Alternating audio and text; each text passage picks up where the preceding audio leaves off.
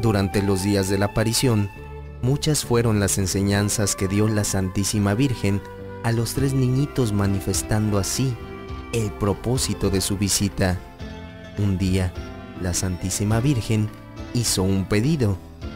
Deseaba que en aquel lugar se rezaran siete rosarios diarios por la paz del mundo y la conversión de los pecadores, pedido que hasta el presente se ha cumplido diariamente.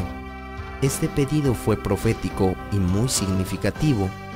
Profético porque nos anticipaba la necesidad de mucha oración por un mundo donde no habría paz y en donde reinaría el pecado, la indiferencia y el egoísmo de los hombres. Significativo porque el número 7 significa plenitud. Toda la aparición de la Santísima Virgen queda enmarcada dentro del número 7, recordándonos la perfección del mensaje.